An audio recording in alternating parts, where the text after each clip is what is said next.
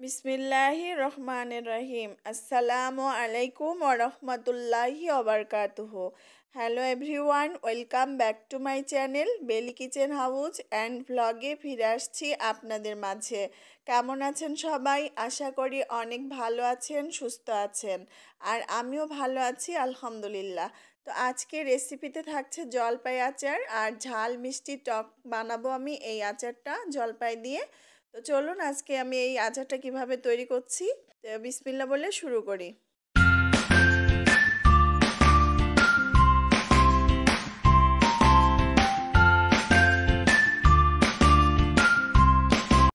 বিসমিল্লাহ রহমানের রাহিম, আমি প্রথমত নিয়েছি জলপাই এক কেজি, আর এটা ভালোভাবে পরিষ্কার করে নিয়েছি, আর এখন আমি গরম পানিতে, ফুটন্ত পানিতে জলপাইগুলো দিয়ে দেব, সিদ্ধ হওয়া পর্যন্ত, আর ঢেকে দিচ্ছি।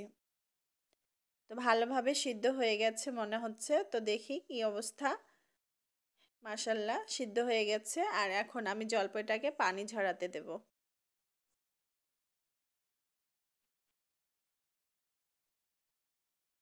তো হয়ে গেল, আমি এটা সাইডে রেখে দেব জলপাইটা। আর আমি এখন মশলার উপকরণটা নিয়ে নিয়েছি। নিয়েছি পাঁচ ফোড়ং এক টেবিল চামচ, জিরা নিয়েছি। আর নিয়েছি আস্ত ধনিয়া সবটা পরিমাণ মতো করে নিয়েছি আর নিয়েছি শুকনো মরিচ চারটা।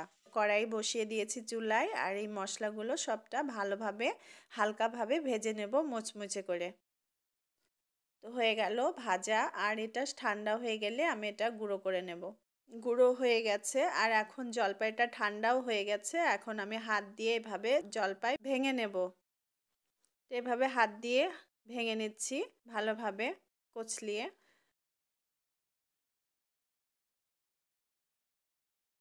তো এখন আমি কড়াই বসিয়ে দিয়েছি চুলায় আর দিয়ে দিচ্ছি এক কাপ সরিষার তেল। আর এখানে দিয়ে দিচ্ছি তেজপাতা দুইটা শুকনো মরিচ দুইটা আর পাঁচ ফোড়ং তো আমি এগুলো সবটাই ফোড়ং হওয়ার জন্য একটু ভেজে নেব। দিয়ে দিচ্ছি রসুন কুচি পরিমাণ মতো। একটু হালকা করে ভেজে নিচ্ছি রসুনটাকে। মেখে রেখেছিলাম আর সেই জলপাইটা দিয়ে আমি হালকা করে একটু ভেজে নেব। তো দিয়ে দিচ্ছি এখানে চিনি। মিষ্টিটা আপনাদের পছন্দ অনুযায়ী দিয়ে দেবেন। আমি এখানে এক কেজি জলপাই নিয়েছি আর হাফ কেজি চিনি দিয়ে দিয়েছি। চিনির পরিবর্তে আপনারা এখানে গুড়টাও ব্যবহার করতে পারেন। আমি চিনি দিয়ে নিয়েছি এখানে। আর চিনি দেওয়ার পরে চিনিটা ভালোভাবে নাড়াচাড়া করে চিনিটা মিশিয়ে নেব জলপাইয়ের সঙ্গে। আর পরিমাণ মতো লবণ দিয়ে দিচ্ছি। আর দিয়ে দিচ্ছি ভিনেগার। ভিনেগারটা দিলে আচারটা অনেক দিন ধরে রেখে খেতে পারবেন। পাঁচ ফোড়ং যে মশলা গুঁড়ো করে রেখেছিলাম, সেটা আমি আচারের সঙ্গে মিশিয়ে দেব। আচারটাকে আবারও আমি ভালোভাবে নাড়াচাড়া করে নিচ্ছি। আর এরকম একটু পাতলা মতো হয়েছে, আর এটা ভালোভাবে নাড়াচাড়া করে মিডিয়াম আঁচে ঘনত্ব করে নিতে হবে।